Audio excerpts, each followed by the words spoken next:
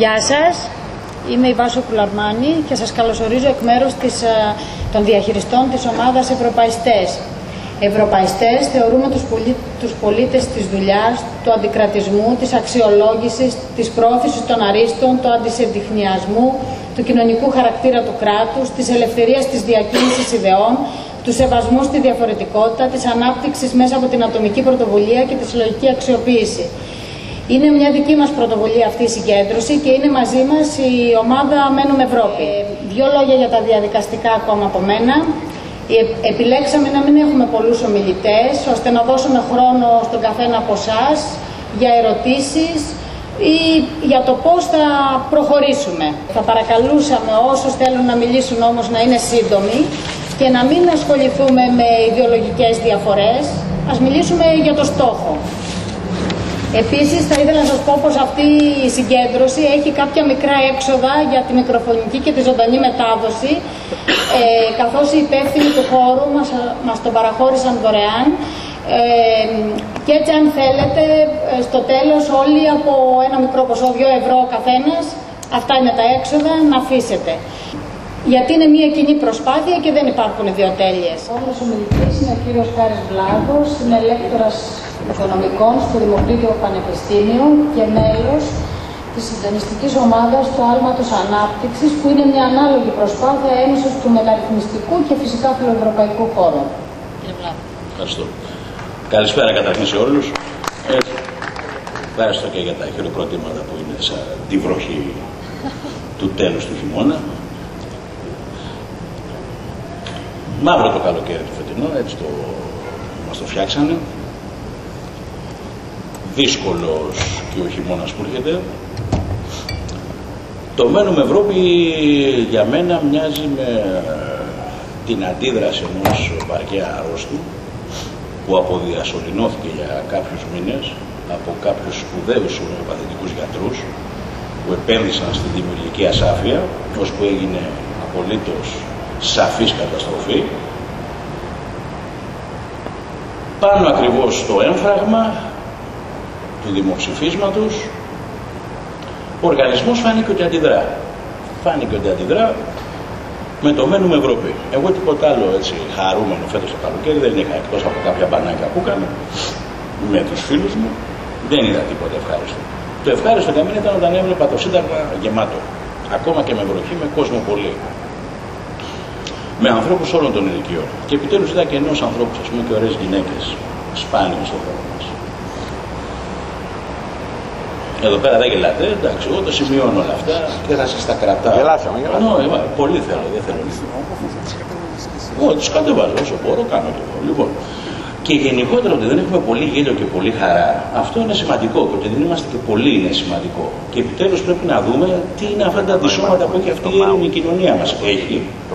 Εγώ πραγματικά όλους σας βλέπω εδώ πέρα, τους πιο πολλούς σας ξέρω, ήξερα ότι θα είστε εδώ πέρα, πιο πολλούς δεν βλέπω όμως έτσι και με μια μεγάλη βάφτιση την πολιτική δεν την αλλάζει. Και εγώ δεν θέλω να είμαι καθόλου ευχάριστος σήμερα. Εγώ θα είμαι έτσι όπως είμαι πάντα, κακός άνθρωπος να πούμε και θα τα λέω τα πράγματα ενοχλητικά.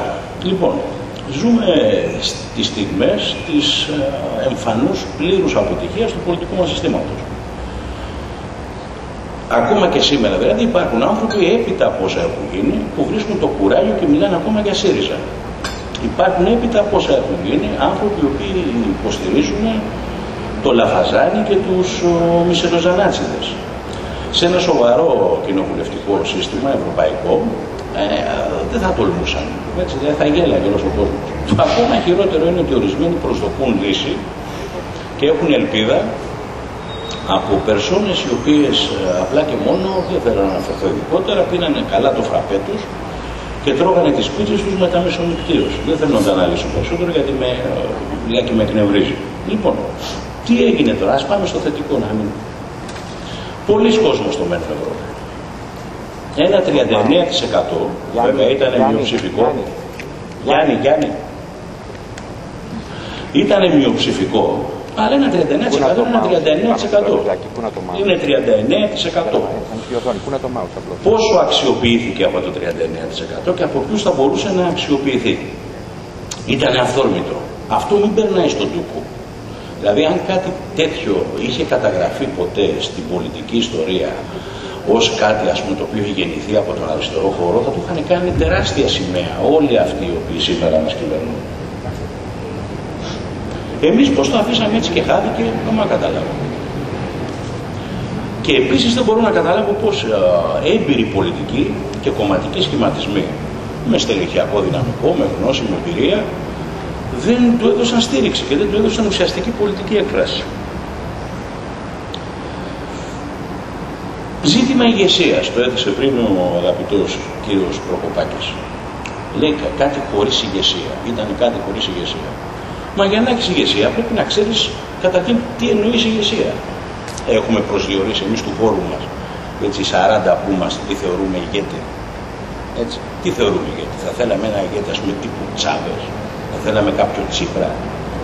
Θα θέλαμε τι θέλουμε. Ξέρουμε τι θέλουμε. Και αν το ξέρουμε τι θέλουμε, είμαστε διατεθειμένοι να το ενισχύσουμε και να το στηρίξουμε. Αν θέλουμε ηγεσία, θέλουμε ηγεσία που να χαρακτηρίζεται από σοβαρότητα, από υψηλή τεχνογνωσία, από κουράκια ηλικιακά, με βαριά βιογραφικά, με καθαρότητα στο ε9. Εύκολο να τα βρεις, όχι. Αλλά πες ότι τα βρίσκεις. Τι τα κάνεις, τα βλέπεις, τα χειροκροτάς, σου βάζεις και ένα like να πούμε στο facebook και γέστη και φοράδα σταλώνεις. Συγγνώμη για το περιοδικό μου, αλλά το υποδηλώνω γιατί η ΑΠ είναι καλή εκλογική περιφέρεια. Λοιπόν, γιατί έχουμε αυτές τις έλλειψεις σαν χώρος. Γιατί δεν μπορούμε καν να προδιαγράψουμε και την εικόνα ενός ηγέτη που θα μπορούσε κάτι να κάνει ή κάποιον ηγετών. Αυτό οφείλεται στο ότι ο δικός μας, ας το πούμε, αστικός χώρος, βάλτε και 40 έτσι, εισαγωγικά όταν μιλάτε για αστικό χώρο στην Ελλάδα, γιατί εντάξει, για να λες ότι έχεις αστική τάξη, ναι, χρειάζεται ορισμένα πράγματα. Στην Ελλάδα δυστυχώς δεν είχαμε ποτέ την ευκαιρία να έχουμε μια ουσιώδη αστική τάξη, η οποία να μπορέσει να αναπαραχθεί, να έχει πολιτικούς εκπροσώπους, οι πολιτικοί αυτοί εκπρόσωποι να μπορούν να εκφράζονται και κομματικά. Και σε πολύ μεγάλο βαθμό ακόμα και σήμερα, ό,τι μπορούμε να ορίσουμε ως αστικό χώρο στην Ελλάδα, ως φιλοευρωπαϊκό τελικά χώρο στην Ελλάδα, ακόμα εμφορείται από τη λογική του μην ασχολείσαι με την πολιτική. Έχω δει ένα κάρο γερόντια, ας πούμε, που βλέπουν ότι τρώνε σφαλιάρες από όλες τις πάντε, τους ξεσκίζουν στη φορολογία, τους κλείνουν τα μαγαζιά και ακόμα τι λένε στα παιδιά του και στα εγγόνια του. Αυτό κακά η πολιτική. Και έχεις τώρα κάτι γελίου που κυβερνούν. Κυβερνούν στην πλάτη σου. Κυβερνούν στο μέλλον των παιδιών σου. Παρ' όλα αυτά το μην ασχολείσαι με την πολιτική το ανεχόμαστε όλοι. Και νομίζουμε ότι θα μας σώσει κάποια μηχανή έτσι που θα έρθει από το, από το Θεό. Λοιπόν, τεράστια αυτή η ευθύνη του χώρου μας και των ανθρώπων ενός ενός, έτσι. Μου μάθατε όλοι και φτιάξατε στα μπαλκόνια σας κυπάκια, όλοι μου κάνετε υγιεινέ διατροφές, όλοι εντάξατε στη καθημερινότητά σας να πούμε ένα lifestyle φιλικό προς την υγεία σας. Το να μειωθεί, ας πούμε, όμως πραγματικά η πολιτική έτσι, παχυσαρκία που έχει αυτός ο έρημο ο τόπο δεν σας νοιάζει ούτε το χέρι στην τσέπη ξέρετε να βάζετε, ούτε ξέρετε να στηρίζετε αυτούς που μπορούν να μιλήσουν, να πούνε και να πράξουν. Μήνες πριν, με το που είχε βγει ο ΣΥΡΙΖΑ, με είχαν φωνάξει καλή ώρα σε μια πρωτοβουλία που ονομάζεται Άλμα Ανάπτυξης και πάνω ακριβώς στο τραπέζι καλή ώρα μου προτείνανε να είμαι και μέλος της Συντονιστικής Επιτροπής. Επειδή εγώ δεν θέλω και πολύ την έχω και την παλαβομάρα μου, είπα πάλι ναι. Όπως είπα και σήμερα, όπως τα λόγια πάντα ναι, εις βάρος μου. Τι μουσικές ακούγονται. Λοιπόν, ναι θα λέω εγώ πάντα. Αλλά δεν αρκεί να λέω μόνο ναι και δεκαφίλι. Να το πάρουμε μυρωδιά αυτό. Τι τους είχα πει τότε. Και το ξαναλέω και σήμερα. Έχοντας βέβαια πιο πολλά δεδομένα στα χέρια μου πλέον και μεγαλύτερη σιγουριά για αυτά που λέω, γιατί έχω και πιο πολλά έτσι, εμπειρικά ντοκουμέντα πλέον. Τι τους έλεγα; Είπα το εξής. Μέσα σε αυτό το χώρο, καταρχήν που βρισκόμαστε, να έχουμε τη συνέστηση ότι είμαστε μία μειοψηφία. Πολύ μικρή μειοψηφία. Έξι στους δέκα συμπολίτες μας είναι μπετόβλακες. Συγγνώμη που σας το λέω, αλλά δυστυχώς έτσι είναι. Δεν καταλαβαίνουν από πολιτική. Δεν πρόκειται να καταλάβουν από πολιτική. Ό,τι τους δείξει τηλεόραση, αυτό θα ψηφίσουν. Να το ξέρετε αυτό. Από τους άλλους τέσσερις που μένουν, οι τρεις είναι αφελείς και πολιτικά αγράμματοι. Δεν έχουν καλλιεργηθεί πολιτικά, δεν ξέρουν τι σημαίνει πολιτική. Άμα του πεις τι είναι φιλελευθερισμός, τι είναι σοσιαλδημοκρατία, τι είναι φασισμό, δεν ξέρουν. Να και γι' αυτό βγαίνουν και αυτά που είπε ο κ. Τροποπάκη πριν, οι νεοφιλελεύθεροι Ναζί. Είναι ας πούμε σαν να τρως πάστα με σαρδέλα. Μπρε. Λοιπόν, τι τους είπα. Τόσο ξύπνοι στο ΣΥΡΙΖΑ που καταφέρνουν τόσες πολλές διαφορετικές τάσεις και βρίσκουν ένα όχημα να τις συγκεντρώνει και να κυβερνάει. Γιατί να μην φτιάξουμε ένα αντισύριζα. Ή τουλάχιστον, και εκεί επιμένω και σήμερα, γιατί να μην φτιάξουμε μία βάση που θα μπορούσε να υποδεχτεί, όχι κατά ανάγκη σαν ένα νέο κόμμα, να υποδεχτεί όλα τα επιμέρους κόμματα από την καρδιά της Νέας Δημοκρατίας μέχρι και το ποτάμι, όλους, σε μία βασική πολιτική ατζέντα με 10 σημεία. Που στην ουσία αυτά τα 10 σημεία θα χρησιμοποιήσω κάτι το οποίο το λέγαμε τότε και στη δράση, είναι σημεία κοινής λογικής. Τώρα θα σας πω και για τη δράση, θα σας πω και για τη φιλελεύθερη συμμαχία, θα σας πω και για τους τάβρου, όπου έβλεπα εγώ φως, μάλλον όπου έβλεπα κτίριο έμπαινα και άναβα μαζί με άλλους φως. Μετά έφευγα εγώ με έναν υπόλοιπο, αλλά φίλοι όλοι. Λοιπόν, τους ξέρω όλους. Και πόσο μοιάζουμε ιδεολογικά και πολιτικά, επίσης το έχω διαπιστώσει εμπράκτα. Έξοδο από την κρίση. Όλοι μιλάμε για έξοδο από την κρίση. Μιλάμε για ένα νέο παραγωγικό μοντέλο, όπως είπε πριν ο κ. Προκοπάκης, και δεν είναι τόσο γυάλο να συμφωνήσουμε τι είναι σε αυτά που χρειάζονται. Καταρχήν χρειάζονται επενδύσεις. Γιατί η ανεργία αλλιώ δεν πρόκειται να πέσει ό,τι και να κάνεις στον κόλλο σου κάτω να βαράς. Χωρίς επενδύσεις δεν πρόκειται να απορροφηθεί η ανεργία και δεν πρόκειται να αυξηθεί και το ΑΕΠ. Τι επενδύσεις είναι αυτές, μπορεί να είναι δημόσιες επενδύσεις. Όχι, ξέχνα το. Δεν μπορεί να είναι δημόσιες επενδύσεις γιατί δεν έχεις τους πόρους. Αλλά και να τους είχες, θα κάνεις δημόσιες επιχειρήσεις με την πανύψης παραγωγικότητας, α πούμε, τη ΔΕΗ. Με τους φωτόπουλους και με τους λαμπόπουλους. Οι ιδιωτικές επενδύσεις είναι η μοναδική μας λύση. Και για να υπάρξουν ιδιωτικές επενδύσεις πρέπει να έχουν ένα περιβάλλον σταθερό, βέβαιο, φιλικό, ελκυστικό. Χαμηλή φορολογία, σαφείς κανόνες του παιχνιδιού, ξύλο στους δημοσίους υπαλλήλους που δεν θέλουν να κάνουν σωστά τη δουλειά τους. Αν αυτά δεν τα έχεις, δεν πρόκειται να μπεις από την κρίση. Ε, δεν νομίζω ότι υπάρχει ένας λογικός άνθρωπος από την καρδιά της Νέας Δημοκρατίας έως και το ποτάμι που αυτό το πράγμα να μην το αποδέχεται. Ήδη αυτό είναι το μισό τουλάχιστον, μην σας πω και παραπάνω, από ό,τι μπορεί να αποτελέσει μια βάση ουσίας για να συσπυρώσει αυτό το φόρο. Και δεν νομίζω ότι υπάρχουν και πολλοί Έλληνες οι οποίοι να μην έχουν ας πούμε, αποβλακωθεί τελείως που να σου φέρνανε και ουσιώδη αντίρρηση σε ένα τέτοιο πρόταγμα. Και να φτιαχτεί όμως ένα τέτοιο μέτωπο φιλοευρωπαϊκών και μεταρρυθμιστικών δυνάμεων, έτσι όπως εγώ το έλεγα από τότε, τα πράγματα δεν είναι αν δεν το πάμε το κάναμε. Δεν είναι απλά ότι είναι δύσκολο. Αλλά πρέπει να ξεφύγουμε κάποια στιγμή έτσι και από τον εύκολο βολονταρισμό. Μαζευόμαστε 10 μάγκες, έχουμε άλλους 10 φίλους και φτιάξαμε ένα νέο κόμμα ή ένα νέο σχηματισμό. Αυτά δεν γίνονται. Εγώ πιστεύω ότι αν μπορεί να υπάρξει κάτι νέο, πατώντας στη δύναμη του 39% που για μένα είναι το τελευταίο οχυρό ας πούμε της κοινωνίας μας σε μια φιλοδοξία πρόοδου, δεν έχουμε και τίποτα άλλο. Αλλά για να φτιαχτεί μια απάντηση ουσιώδης, εγώ δεν πιστεύω και ούτε στους εθελοντισμούς, ούτε στους ερασιτεχνισμούς, ούτε στους πέντε, ούτε στους δέκα. Εγώ πιστεύω ότι άμα είναι να γίνει κάτι, όχι κατά ανάγκη με μια κομματική μορφή, αλλά σαν μια βάση ενός μετόπου, εύκολα θα το πω, αντισύριζα, είναι να το κάνουμε όπως Αμερική. Όπως Αμερική τι σημαίνει. Χρησιμοποιείς ειδικούς για να μελετήσουν την πολιτική αγορά σου. Βρίσκεις τα τμήματα της αγοράς στα οποία μπορεί να έχει απίκηση ο πολιτικός σου λόγος. Και χτίζεις μια ολοκληρωμένη στρατηγική marketing πολιτική. Αυτό όμως τι σημαίνει; Αυτό σημαίνει πρώτα απ' όλα πόρους, χρήμα, λεφτά. Πολιτική δεν γίνεται παιδιά μια αέρα. Άμα δεν έχεις ε, βόλια, άμα δεν έχεις πολυβόλα, άμα δεν έχεις υπηκό με σφεντώνες, δεν μπορείς τώρα να τα βάλεις με το πασάρι. Όσο και τρελός να είσαι. Λίγο λογική να έχεις, λες ρε, τι θα πάω τώρα; Α σηκώσω εγώ τώρα τη σημαία του πολέμου, με θερήσουν.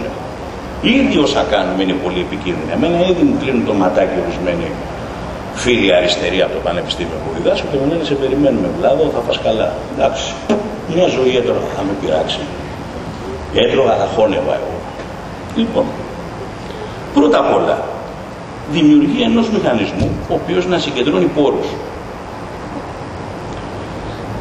Πώς, προτάσσοντας 10 θέσεις, όχι 40 θέσεις μπλεγμένες, 10 πράγματα που να μπορεί να τα καταλάβει κάθε Έλληνας. Βήμα 2. Μηχανισμούς που να ελκύει πόρους, πόρους και να μαζέψει ουσιώδεις πόρους. Επιλογή 10 προσώπων, όχι ενός, μην περιμένεις μεσία. Δεν πρόκειται να κατέβει ποτέ ο, η μετεμψύχωση του Κέννιντι με τα μάτια της Στάι σε ένα άσπρο άλογο. Δεν κατεβαίνει. Δέκα θα βρεις. Αλλά οι δέκα να έχουν τα βασικά χαρακτηριστικά. Δηλαδή, μην μου φέρεις καμιά τηλεπερσόνα, ας πούμε, κανένα ποδοσφαιριστή. Βρες δέκα ανθρώπους που το μυαλό τους να δουλεύει, να έχουν αποδείξει ότι έχουν βάρη βιογραφικό, να μπορούν να συνεννοηθούν και να έχουν κουράγια. Αυτό. Δέκα.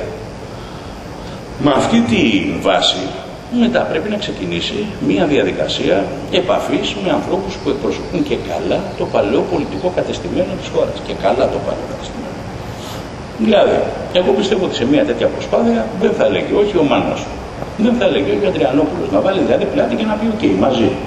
Δεν θα έλεγε όχι η Διαμαντοπούλου. Δεν θα έλεγε όχι ο Αλέξης Παπαδόπουλος. Πολλοί κόσμος σοβαρός όχι δεν θα έλεγε. Και όχι κατά ανάγκη σε μια λογική προμετωπίδας αλλά όπως να είτε είμαστε μαζί σας γιατί δεν είμαστε βλάκες, γιατί θέλουμε να δικαιώσουμε και τη δικιά μας την ιστορία, το παρελθόν μας. Αυτούς μπορείς να τους βρεις, αλλά δεν τους βρεις άτσαλα, δεν θα πας χτυπάς πόρτα και κάνεις καλησπέρα, λέει υπέγραψε. Στη βάση μιας ολοκληρωμένης στρατηγικής. Και καπάκι, όταν θα έχεις φτιάξει αυτά τα όπλα, βλέπετε ότι γίνομαι πολύ συγκεκριμένος γιατί πλέον έχουν αποκρισταλωθεί απόψη μου, έπειτα από το δενηρό καλοκαίρι που σας έλεγα, με το που θα τρέξεις όλα αυτά, μετά στη βάση του επικοινωνιακού σου πλάνου, έχεις φτιάξει πρόγραμμα Δευτέρα πρωί, παπ, στον Ιλιτζή. Από αυτούς τους 10 πηγαίνει ένας. Και ανακοινώνει ότι φτιάχνεται ένα τέτοιο μέτωπο. Γίνεται λίγο κόπλα, στημένο το τηλέφωνο, ενημερώνει το απόγευμα στο Μέγκα, ο δεύτερος από τους 10 θα βρίσκεται στο πάνελ του Μέγκα. Τρίτη πρωί θα σκάσουν δύο επιστολές που θα λέει ο Μάνος μαζί. Τρίτη μεσημέρι, μία φασάρια εκεί δημιουργείς ένα φαινόμενο πολλαπλασιαστικό. Για να σε μάθει και ο απλός άνθρωπος ο οποίος μονάχα έτσι μαθαίνει και καταλαβαίνει. Από τις τηλεοράσεις μαθαίνουν. Ούτε από τα facebook ούτε από τα τίποτα. Αυτά ξεχάστε τα. Απ' την άλλη μεριά, όταν δημιουργήσεις αυτό το υπόστρωμα το υποκοινωνιακό που είναι αναγκαίο, πρέπει να έχεις ανθρώπους που να ξέρουν να οδηγούν βαν. Να μαζεύεις πέντε και να πηγαίνεις σε λαϊκές. Και να είναι ξεκούραστος ο φώτη, να πάει στη λαϊκή, να μοιράζει φυλάδιο και άμα έρχεται η γιαγιά να της λέει ναι γιαγιά. Δεν θα λες όλα νέα, ναι βέβαια, γιατί δεν είναι αυτό το παλιό καθεστώς. Θα λέει και πολλά όχι. Αλλά θα έχει τα κουράγια. Γιατί κοιτάξτε, άμα κάνεις κάτι που δεν οδηγεί πουθενά, μετά το ξανακάνεις. Βαριέσαι. Άσε που κουράζονται και οι άνθρωποι οι οποίοι και συμμετέχουν αλλά και μπαίνουν και μπροστάριδες. Μία, δύο, τρεις, τέσσερις, πέντε. Άμα δεν θέλεις κυρά μου, ας σπίτι σου να πούμε. Δεν μου σπάστε τα πόδια. Λοιπόν, εγώ πιστεύω ότι είναι κρίσιμη στιγμή. Κρίσιμη στιγμή για την κοινωνία μας και μου φαίνεται, το λένε βέβαια συχνά, ότι είναι η τελευταία ευκαιρία. Για μένα μου φαίνεται όντως όμως ότι είναι η τελευταία ευκαιρία για την κοινωνία μας. Δεν θεωρώ ότι υπάρχει, είναι το καθεστώς όριμο έτσι ώστε να δημιουργηθεί ένα καινούριο κόμμα. Όχι. Αλλά είναι απολύτως όριμο το καθεστώς έτσι ώστε όσοι είναι υπέρ μιας προοπτικής ευρωπαϊκής, μιας οπτικής σύγχρονης, μιας οπτικής υπέρ της πρόοδου της κοινωνίας μας, είναι καιρός επιτέλους να τα βάλουν κάτω και να τα βρούνε. Εάν δεν μπορούν να τα βρούνε, να πάνε να κουρευτούν. Ευχαριστώ πάρα πολύ.